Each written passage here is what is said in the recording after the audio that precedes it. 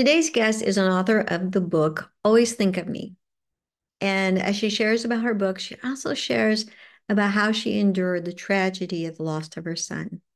So much to learn. Building spirituality, family, health, and business. This is The Giant Builders with Lois Wyant. Just to let you know ahead of time, Giant Builders, we're going to be giving a book away from this episode. So it would be great for you to leave a comment in our social media or our YouTube channel. I hope that you've already joined and follow us on our different social medias and our YouTube because it helps us to get more exposure, to get in front of more people, but also keeps you connected with us. So let's go to our guest. Good afternoon, Giant Builders. Welcome. And our guest today is Lori Keesey. Hi, Lori. How are you? I'm good. Thank you, Lois. How are you? I'm doing wonderful. Good. So, can you tell our listeners a little bit about you and what you do? Yes, I'll be happy to do that. I am a I'm an author blogger. I started my career many years ago as a journalist. Um, but my my career took a different turn five years ago, five and a half years ago, through the tragic, after the tragic loss of my son. Hmm. And that's when I started writing the book, Always Think of Me. And I started my blog, which is called The Accidental Blogger. And the name fits because I never had any intention of becoming a blogger. You know, I thought, oh, you know, you have had this awesome career as a communication consultant, worked for NASA, loved it, went to all kinds of places, and every day was a learning experience, especially in technology, space technology. Um, but after that incident, I had to change course, and that's what happened. Oh, I And I, imagine. yeah, yeah, and and and sometimes I feel, oh, you know, I'm not whining. Um, the loss of a child is horrible, and in fact, one of my closest friends, she's the mom of four, two girls and a, two boys, and in late December, she lost her second son in just two and a half years. And honestly, I cannot even begin to imagine going through that. Mhm. This is mind numbing. And I, I, I, I believe, I know she and her husband will eventually get through it. But, but grieving is a process. And Mhm. that's what I learned from my experience. You know, I used to say um, the most ridiculous things to people. Oh, your son or daughter or a lo- uh, you know, a, a lost one is in a better place. Nothing could be more tone deaf than that because that person doesn't care because that person is saying, I understand that intellectually, but I want that person here with me now. Mhm. And, you know, it's so I had to learn all that in the process. So, what do you, how do you learn that? Okay, so what, being from that side, what is Mhm. something that would be nice to say to somebody who lost somebody? I think the best thing to say to someone is that if you don't understand what it's like, you say that. I don't, I can't imagine what you're going through, but please know that that I am thinking about you. I am praying for you if that's what that person would want, prayers. Um, I think just recognition that you don't really know, but hmm that you're that you your heart breaks for them is is what I think is more appropriate than oh some some silly bromide, you know, oh he's in a better place, she's in a better place. No, I don't think so. Okay. That's very helpful. I mean, it's nice to hear that from someone who has that experience and just the grieving process is really complicated. So, And you know, we Americans, we Westerners will, you know, will get on the phone. Hey, how are you doing? and it's it's like rote and i will call my friend and i stop myself because i'm ready to say how are you doing well she's not doing well i know that mhm. you know she is struggling and she is going through her day just like my husband and i did like zombies, not knowing what to do next. So it's almost like you're walking around chasing your tail like a dog, and you just can't seem to focus. And so you really have to kind of watch what you say there. Well, I'm not doing well. You know, you don't want to just rub salt into the wounds either. It's hard enough. Yeah. Yeah. Well, um, tell me about your book. Always think of me. Okay. Well, the back cover says, if you don't mind me reading just No, the first fine. part, sometimes love gives you a second chance, sometimes it doesn't. And sometimes it returns in a way you could never imagine. This is an uncommon love story. It is about a 33 year old party boy who meets the woman of his dreams. When they part company abruptly, he moves on, never thinking he'll see her again. But then he finds himself on an otherworldly mission to see her again. But first, he must overcome his own doubts and stop her from doing the unthinkable. Wow. Sounds like a lot of impact there. Well, I, I kind of hope so. I hope people like it. I mean, I, Mhm. it took a long time to write it. yeah. Um, because, you know, when I changed my trajectory, I went into uh, this period of reflection. I really couldn't work anymore. I I had to, I tried and for several months, but I decided I was going to devote my life to writing this novel. And during that period, I started thinking about um, resilience. I started thinking about life's purpose. And those are two central themes in the book. Hmm. We all have a purpose. And meanwhile, when I started writing this, um, there was this huge uptick in suicides. Maybe you remember this. This was Oh. during the COVID Mhm. lockdowns, all that.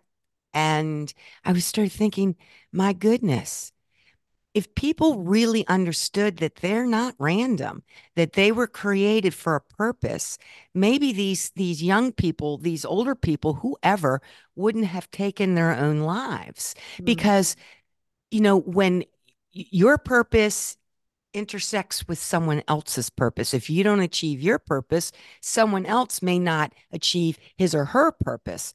And that's kind of central to the book.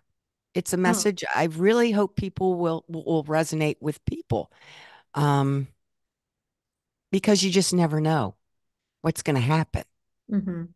and you have to live your life, you know, purposely and and and and hopefully, you know, you will benefit someone else. Your story will help someone else because we simply can't avoid, you know, the hard things in life. And that's that's also projected in this book.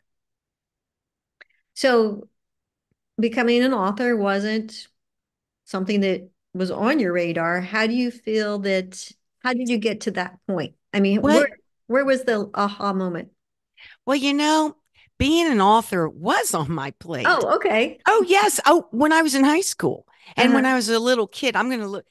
I used to write these goofy little stories, and I don't know if you can see this, but Yeah. but this this was something I had written when I was a little kid with my cousin. We would go to my grandmother's, my nana's, and we would write spend time on her her screened-in porch writing these goofy little stories, and then we would Oh. illustrate them. So yeah, I've always wanted to be a writer. Uh-huh. That's why I went into journalism. Mhm. And I did try take a number of fiction writing classes, you know, throughout my 20s and 30s. But, you know, my my instructors would, well, Laura, you're really good at creating characters. But where's this story going? There's no story. Oh. And so, you know, I didn't really have a story until, you know, five, five and a half years ago. And I'm not saying that my book reflects what happened with our personal tragedy, but it Mhm. certainly inspired the book. Mhm. And that's I've had a story, and it's a bittersweet thing.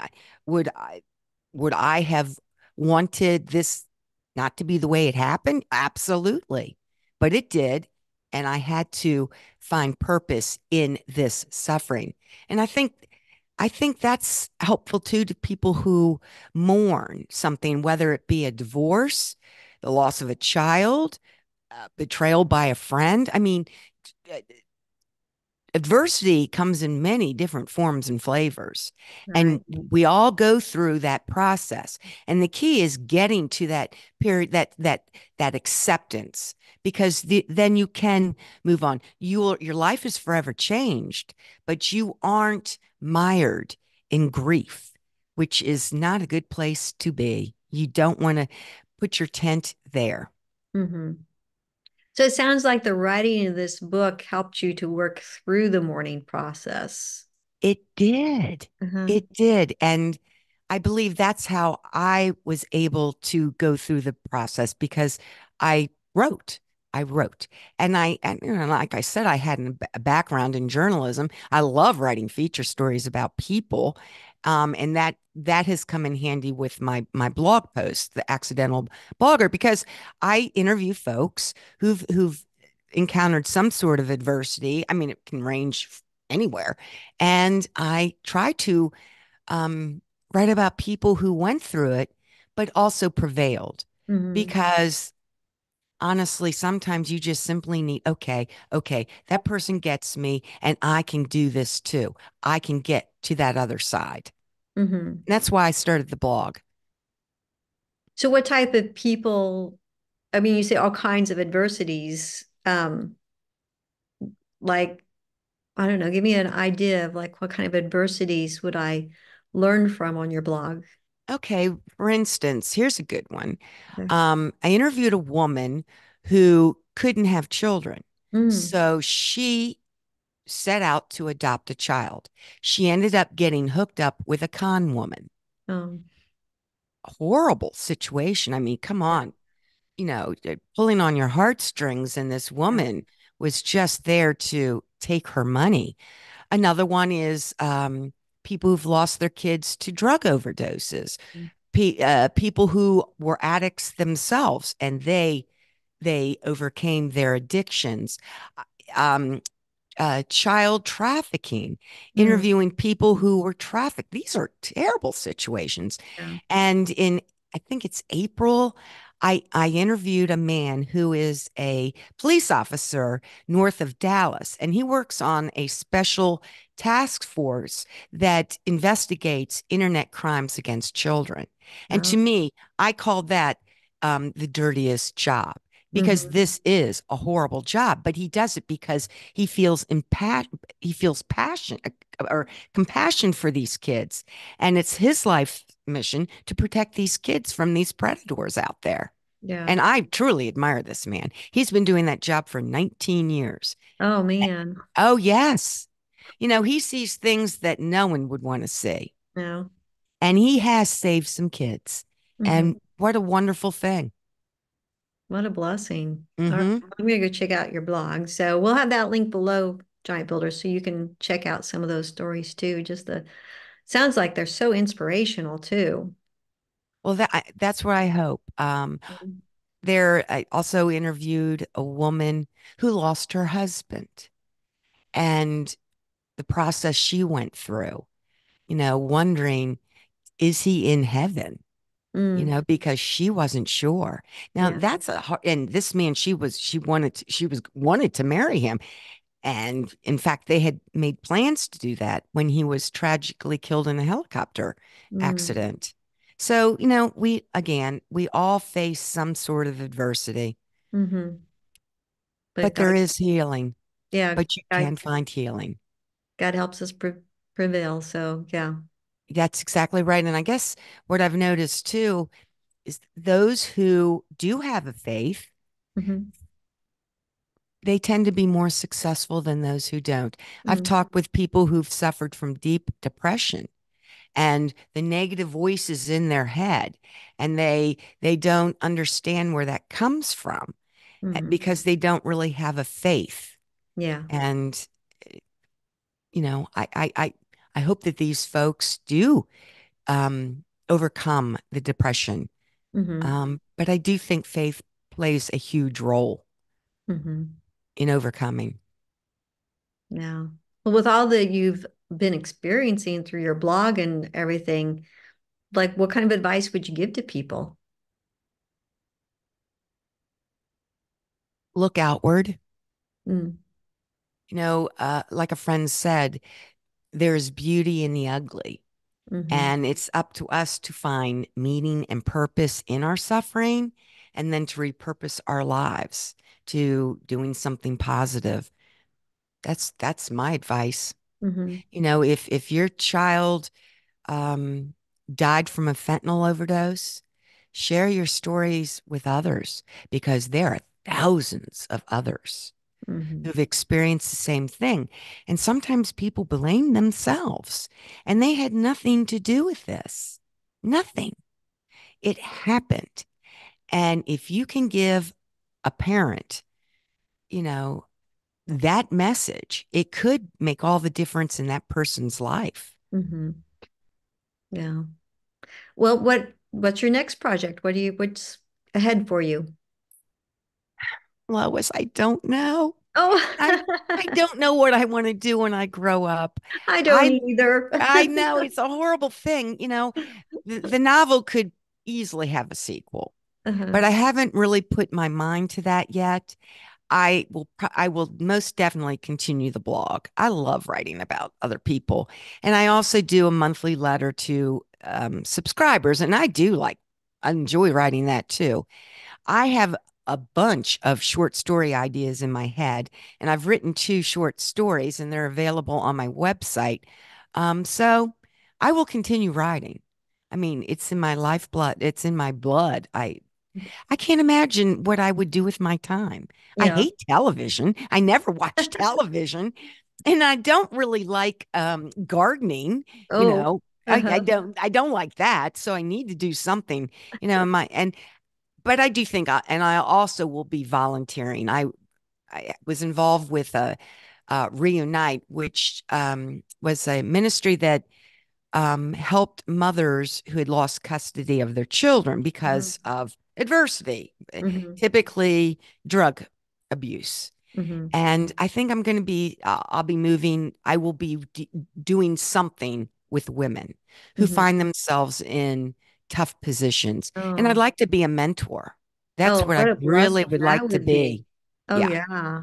And I have a couple organizations in mind. So I think that's where I will be spending a lot of my time in the uh-huh. coming months and oh. years. so, what advice would you give to somebody who's thinking about writing a book? Write it and then persevere. Um, writing at least for me, writing a novel was very difficult. I was accustomed to journalistic writing and not making things up out of whole cloth. Um, and also, you have to put on a tough skin. Hmm. Um, lots of books are written, lots of books are released, and it's a little scary. You know, because we all don't we all fear rejection and what if they don't like my book you know that type of thing I'm really, really trying to keep those negative voices mm-hmm. at bay. You know, uh uh-uh, uh just do it. And if it's your dream, then you absolutely need to do it. Otherwise, you'll never know.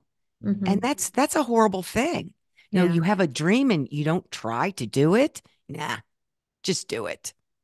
All right. So the title of the book is Always Think of Me. So we're going to give one away. So, Giant Builders, if you leave a comment in the social media postings or on the YouTube channel, then we'll have a drawing and we'll give a book. And Giant Builders, when you leave comments on, especially the YouTube channel, it helps us reach more people. So that would be really helpful and really appreciated. And you you could win a book. so, um, any closing thoughts? Well, I thank you for allowing me on your show. This has been a very mm-hmm. nice conversation. You're I I love your mission. This is awesome. So, best wishes to you too. Well, thank you very much. All right, well, Giant Builders, we'll see you next Tuesday. Thank you for listening. This has been The Giant Builders with Lois Wyant.